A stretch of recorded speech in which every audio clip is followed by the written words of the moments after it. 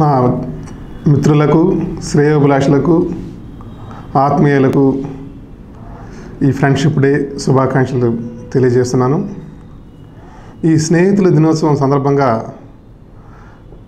నాకు చిన్ననాటి జ్ఞాపకాలు అన్నిటిని కూడా గుర్తు చేసుకుంటున్నాం. ఎందుకంటే చిన్నప్పుడు మనం ఫ్రెండ్స్తో కలిసిమెలిసి ఆడుకునేటప్పుడు గ్రామాల్లో ఎంతో అనుభూతి ఎంతో ఆనందాన్ని పొందుతాం. ఈరోజు అదే ఇప్పుడు ఉన్నటువంటి పిల్లలకి ఆనందాన్ని కోల్పోయారు. ఎందుకంటే ఈ స్నేహితులతో కలిసిమెలిసి తిరగడం అనేది ఈ పట్టణాల్లో ఈ- ఈ చదువుల కారణంగా ఇవన్నీ కూడా కోల్పోతున్నారు. ఈ మొబైల్ ఫోన్స్ ఇవన్నీ వచ్చి నిజమైన ఫ్రెండ్షిప్స్ ఎలా పాలు పంచుకోవాలి? ఫ్రెండ్స్తో ఎలా కలిసిమెలిసి తిరగాలి? ఫ్రెండ్స్తో ఏ విధంగా ఆడుకోవాలి? ఆ ఆనందాన్ని మిస్ అయిపోతున్నారు. ఆ ఆనందాన్ని మనం నిజంగా కూడా చెప్పాలంటే మాటల్లో చెప్పేది కాదు. చిన్నప్పుడు మనం ఫ్రెండ్స్తో కలిసిమెలిసి ఆడుకునేటప్పుడు మనం ఎంతో ఫ్రీగా ఏదున్నా సరే మనం మా మనసులో ఉన్నది ప్రతి ఒక్క విషయాన్ని కూడా ఫ్రెండ్స్కి షేర్ చేసుకుంటాం. మన సంతోషం కావచ్చు బాధలు కావచ్చు అన్నిటిని కూడా మనం వాళ్ళకి చెప్పుకొని ఆ సంతోషాన్ని మనం ఎంత అనుభూతిని పొందామంటే అది మాటల్లో చెప్పేది కాదు. నిజంగా మనం తల్లిదండ్రులకి చెప్పుకునేటువంటి విషయాలన్నీ కూడా ఫ్రెండ్స్తో షేర్ చేసుకుని మనకి ఏదైనా కష్టం వచ్చినప్పుడు వాళ్ళతో వాళ్ళ యొక్క సలహాలు తీసుకుంటాము. మన సంతోషాన్ని కూడా వాళ్ళకి పంచుకుంటాము. ఈ విధంగా మనం అన్యోన్యంగా పెలిసి పెరిగి మన జీవితాల్లో ఎంతో ఆనందం పొందుతాం. దానివల్ల మన యొక్క లైఫ్ స్పాన్ కూడా పెరిగి మన యొక్క ఆరోగ్యరీత్యా కూడా మనం చాలా యాక్టివ్గా ఉంటాం.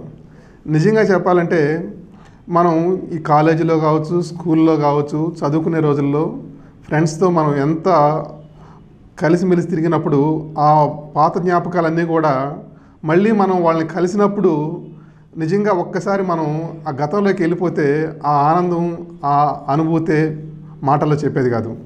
నిజంగా ఈ ఫ్రెండ్షిప్ డే గురించి చెప్పాలంటే ఎవరిని చూడడం వల్ల ఎవరిని స్పృశించడం వల్ల ఎవరి మాటలు వినడం వల్ల ఎవరితో మాట్లాడడం మనసు ద్రు ద్వేస్తుందో అదే స్నేహం అని చెప్పబడుతుంది.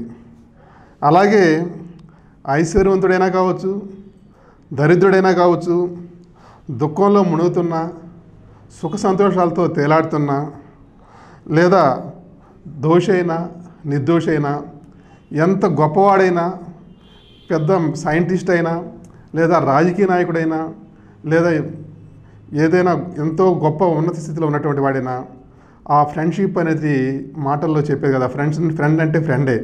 వాటన్నిటిలో కూడా మనం కష్టాల్లో అన్నిటిలో కూడా కనిపెట్టుకున్నటువంటి వాడే ఆ స్నే- ఆ స్నేహితుల్ని ఎవరైతే వదలకుంటూ ఉంటాడో వాళ్ళే నిజమైనటువంటి స్నేహితుడు. అలాగే ఒకరితో స్నేహం చేయడం సులభం. కానీ ఆ స్నేహితుడిని కడదాకా ఆ స్నేహాన్ని మనం నిలబెట్టుకోవడం అంటే చాలా కష్టం.